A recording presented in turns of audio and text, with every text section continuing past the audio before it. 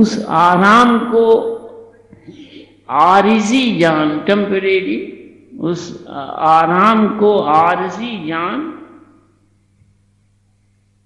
असल सेहत न जान, असल सेहत न जान।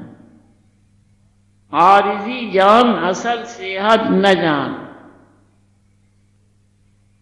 हज़रत के फरमाने का दुआ लिया ये है कि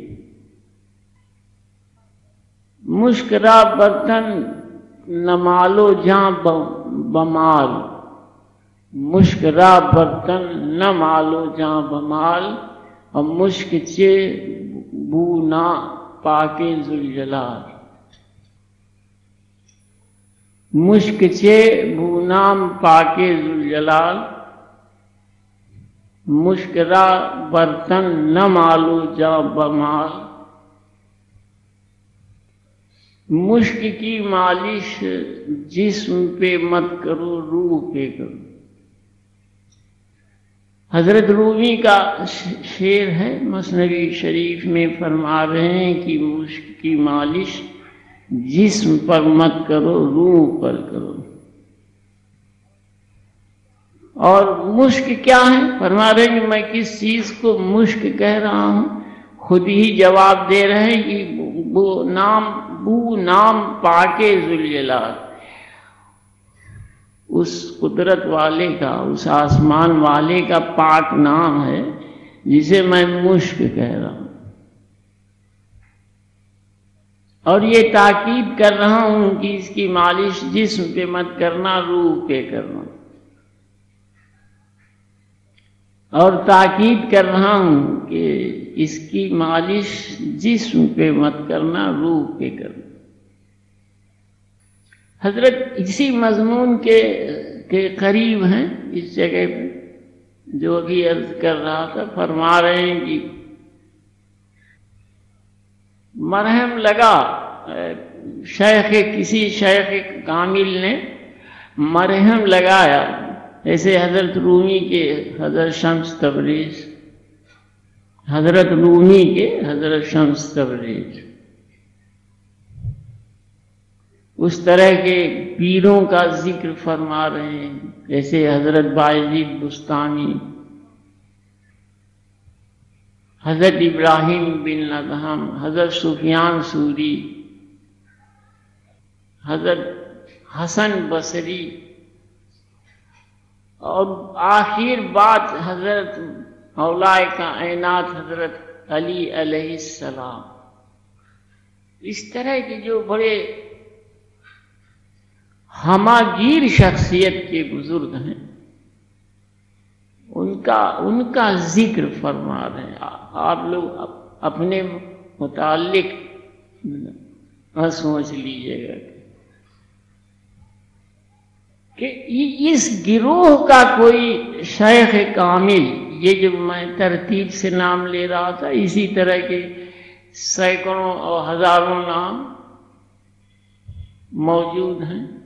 तो इस तरह के गिरोह के पीरे कामिल, कामिलीन के गिरोह के में से कोई भी फर्द अगर मरहम रख देगा तुम्हारे जख्मों पर तो तुमको भलाई हासिल होगी शिफा हासिल होगी। लेकिन ये न समझ लेना। अगर एक दफ़ा मरहम रखना हासिल हो गया तो ये न समझ लेना कि तुम पूरी तरह बासेहत हो गए। तुम पूरी तरह बासेहत हो गए, यानी बातिन की ज़िंदगी तक पहुँच गए। बातिन की ज़िंदगी तक पहुँच गए, वो नियामतों को पाने के हकदार बन गए। तुम कामिल कहलाने के मुस्तक हो गए, ऐसा न समझ लेना। मरहम उतर रहा है धीरे धीरे रूह की तरफ़। मरहम उतर रहा है धीरे धीरे रूह की तरफ़। धीरे धीरे रूह की तरफ़ उतर। तुम्हारे सब्र के साथ, तुम्हारे शुक्र के साथ, तुम्हारे गहरा होते रहने के साथ इश्क की दुनिया में, जबरूत में। वहाँ जितना तुम्हारा दिल जुड़ा और तुमने जितनी गहराई हासिल की, उसी हिसाब से वो मरहम उतरता है, जो एक दफे हासिल हो गया। उसी हिसाब से वो मरहम उतरता तुमने जितनी गहराई से अपने को जोड़ा तुमने जितनी गहराई से अपने को जोड़ा या धीरे धीरे जोड़ा, जुड़ते गए जुड़ते गए, गहरे होते गए, गहरे होते गए। राबिता से निस्बत कायम हो गई तो वो मरहम जो एक दफे हासिल हुआ था, वो धीरे धीरे उतरता उतरता रूह तक पहुँच जाए। फरमा रहे हैं कि मुश्करा बर्तन न मालो जहाँ पे माल। अब मुश्क चे बुगनाम पाके जुलजलाल तो अभी बात थी कि जिस्म पे न मलो, रूह पे मलो। अब रूह पे मलना हासिल हो रहा एक जमाने के बाद। धीरे धीरे धीरे धीरे। एक निस्बत है जो गहरी हो रही है और गहरी हो रही है और गहरी। पानी को मछली मछली को पानी के बगैर चैन नहीं, सुकून नहीं। इस निस्बत पे गौर कीजिए। किसी तरह की राहत मयसर नहीं, अगर पानी छूट गया। और पानी छूट गया, और फिर भी राहत मयसर मयसर है किसी तरह का कोई तगैर कोई तब्दीली, मिजाज में नहीं पैदा हुई तो इसका मतलब कि अभी शुरुआत शुरुआत भी नहीं हुई। किसी तरह किसी तरह के रूहानी रिश्ते की कोई शुरुआत भी नहीं। ये पैमाने हैं नापने के लिए। इसलिए अर्थ करता हूँ कि आदमी अपनी हकीकतों से पूरी तरह जानकार रहे कि कितने पानी में है। इन बातों में चाहे चाहे दुख देने वाली बात हो रही हो या कड़वाहट रखने वाली बात हो रही हो, लेकिन काम की है, इसलिए कि इससे हकीकत का पता चलता है। कि मछली अगर पानी के बाहर रह के भी मुतमिन है, वो खुश है, और उसमें किसी तरह का कोई तब्दीली, जहनी, दिमागी रूही कलबी नहीं पैदा होती है तो इसका मतलब कि वो मछली असली नहीं है, मिट्टी की मछली। हज़रत रूमी के लफ्जों में मिट्टी की मछली। कागा सप्तन खाइयो, चुन चुन खाइयो, मांस दो नैना मत खाइयो, पिया मिलन की आस। इस मकाम पे बात पहुँच गई हूँ। साजन ये मत जानियो तुम बिछरत मोहे चैन। साजन ये मत जानियो तुम बिछरत मोहे चैन। जैसे जल बिन माछरी तड़पत हूँ दिन रैन। ये वो दोहे हैं जो सूफी बुज़ुर्गों की ज़ुबान पे आए सेंचुरीज सेंचुरीज के बीच में। निहायत सादा। कहीं जबान में कोई भारीपन नहीं, कोई बोझ नहीं जबान का। निहायत सादगी के साथ बात कह देना, ये एक खूबी रही है सूफी संतों के साथ। जो अब अब कहीं नहीं मिलती और इसके पहले भी, उनके पहले भी बहुत नामुमकिन चीज़। कर कापत पतियाँ लिखत जल भर आवत नैन कर कापत पतियाँ लिखत जल भर आवत नैन कोरो कागज़ हाथ दे। कोरो कागज़ हाथ दे, मुख से की जो बैन एक कवि गुजरे हैं बहुत मशहूर, जिनके दोहे हैं, उनको कहते हैं बिहारी जी। आप लोगों को शायद ये न मालूम होगा कि सूफी सिलसिले के दुर्वेश अजार मुबारक इनकी इंदिरापन में है। अब वो दोहे हैं कि जिन्हें सुनते हैं, आज तक लोग सिर ढूंढते हैं। तो हज़रत रूमी फरमा रहे हैं कि देखो वो मरहम जो तुम्हें हासिल हुआ, ये तवज्जह का। रूह की ज़िंदगी पाने का, आसमानी बनने का, आसमानी कशिश के मुखातिब हो जाने के लायक बन जाने का वो जितने घाव हैं जो तुमको आसमानी सिफत नहीं बनने देते, उनके भर जाने का और तुमको इस लायक बना देने का कि तुम इश्क के घेरे में आ जाओ, इश्क की कशिश में आ जाओ, उसके लायक बन जाओ। मरहम मरहम के माने नहीं कि किसी डिबिया में कोई मरहम रखा। उसको खोल के लगा दिया गया, ये आसमानी फैज से मरहम के माने मैं अर्ज़ कर रहा था कि वो फैज जिससे सेहत हासिल हो, जख्म भर जाए। तो अगर तुम खुशकिस्मती से वो फैज पा गए हो तो ये न समझ लेना कि काम मुकम्मल हो गया। फैज मलकूत मलकूत का होगा जबरूद का ना होगा। फैज मलकूत से होगा जबरूत से ना होगा। ज़्यादातर फकीर लोगों की तरफ़ मलकूत से मुखातिब होते हैं जबरूत से नहीं होते। कुछ मखसूस रूहें होती हैं जिनकी तरफ़ जबरूत से मुखातिब हो वरना आम तौर से सिर्फ़ मलकूत से मुखातिब यानी वो रूह जो मौजूद है मलकूत में, असल ठिकाने पे, उसी जगह से उसी की तरफ़, उसी जगह से उसी की तरफ़ मुखातिब उसी जगह से उसी की तरफ़ मुखातिब होती अगर तुमने उस मरहम के हासिल होने के बाद, उस फैज तवज्जह के हासिल होने के बाद अपने को जो, जोड़ रखने की कोशिश की और ज़्यादा से ज़्यादा जोड़े रखा। और जरा सा हल्का करो। और ज़्यादा से ज़्यादा जोड़े रखा अपने को। एक फ़िक्र मौजूद रही जुड़ने की, जोड़े रखने की। जैसे प्यास लगी हो पानी पीने की तलब। उस तरह की एक प्यास, वैसी आरज़ू, वैसी उस आरज़ू की गहराई, उस चाह उस चाह की गहराई। कायम हो लगातार बढ़ती जा रही हो।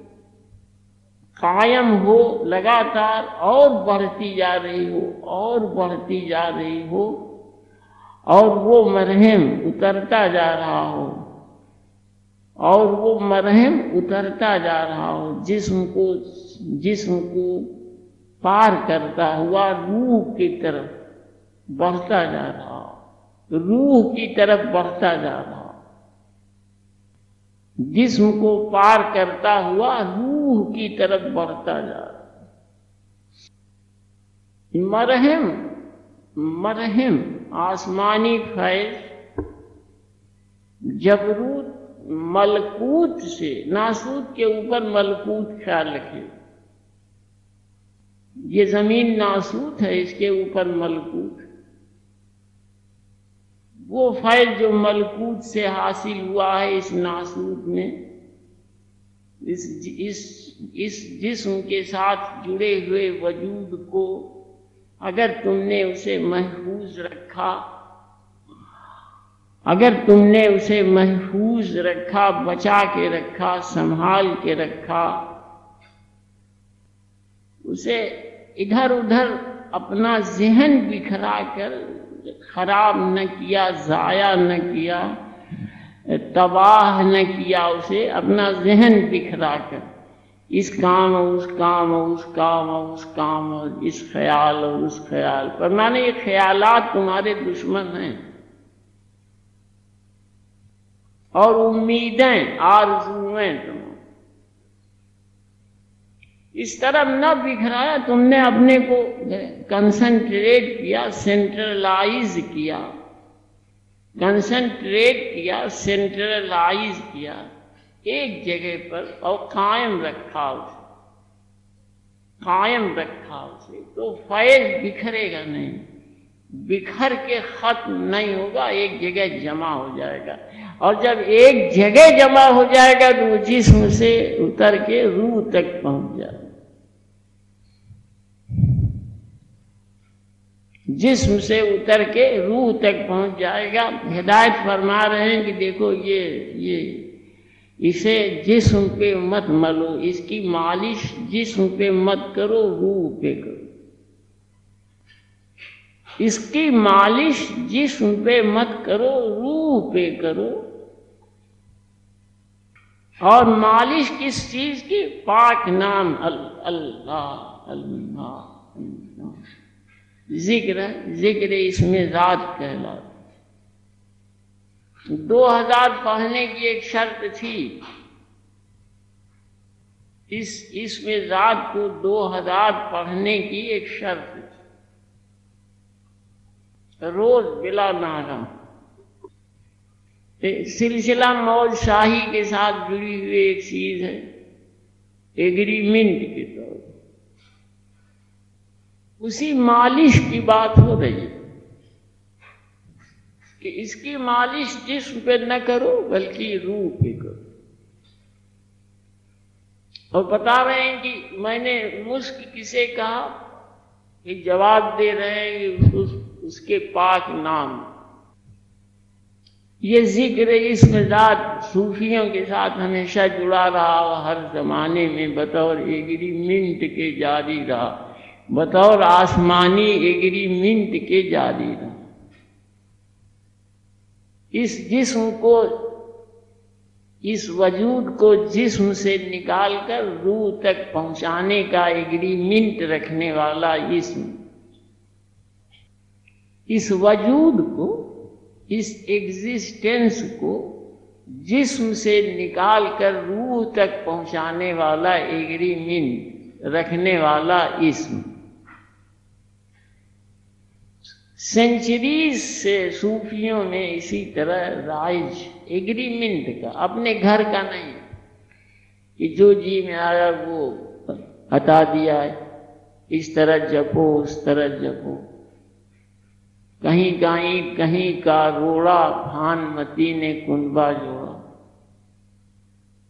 आसमानी एग्रीमेंट के साथ बधे हुए इसम, जो सदियों से फैज देते रहे हैं, सालिकीन राह को। आदमी से इंसान बनाते रहे हैं और इंसान से इंसान कामिल बनाते अक्सर शराब खाने में वो रोशनी मिली। काबा से हरम इसे जाहिद न पा सका।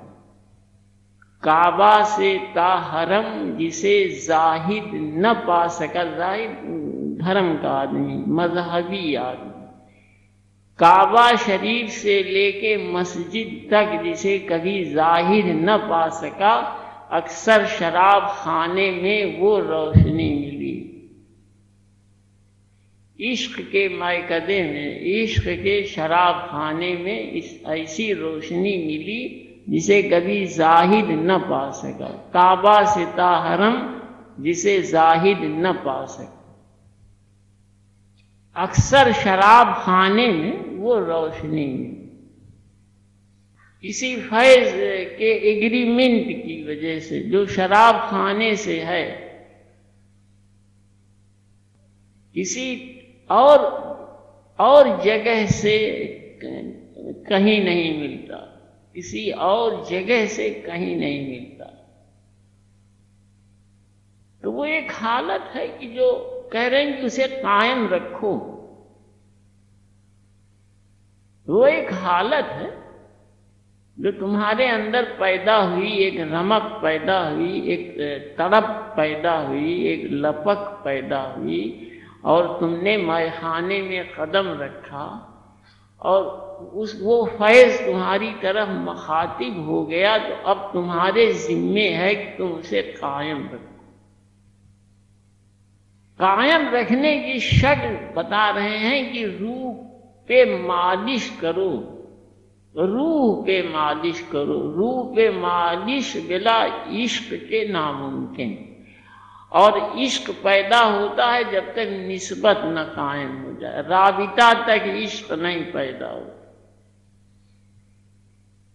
राबिता माने दिल दिमागी तौर पे जुड़ जाना, किसी चीज़ को कबूल कर लेना, एक्सेप्ट कर दिमागी तौर पे शुरुआत है ये।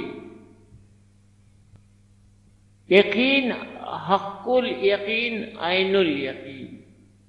ईमान एक लफ्ज है, मजहबी दायरे में इस्तेमाल होता फकीरी दायरे में इसकी कोई कीमत नहीं। बातिन की ज़िंदगी में, बातिन की दुनिया में, बातिन के मज़हब